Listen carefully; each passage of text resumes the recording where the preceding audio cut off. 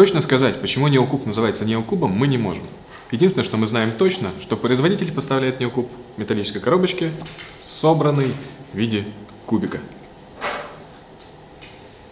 И самое первое, чему стоит научиться, это собирать такой кубик. Куб собирается из шести параллельных ниток шариков. Чтобы собрать, нужно сложить эту ленту по 6 шариков слоя.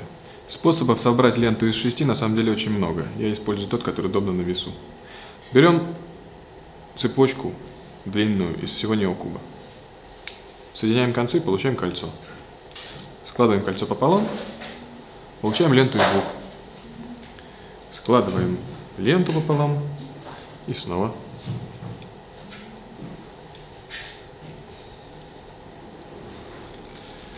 Получаем столбик квадратного сечения из четырех шариков. Раскрываем этот столбик.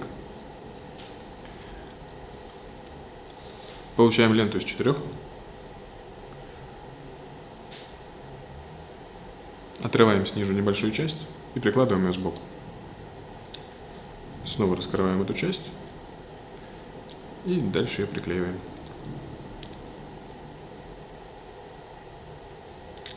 Скорее всего, здесь что-то не сойдется, дополняем просто кусочек снизу.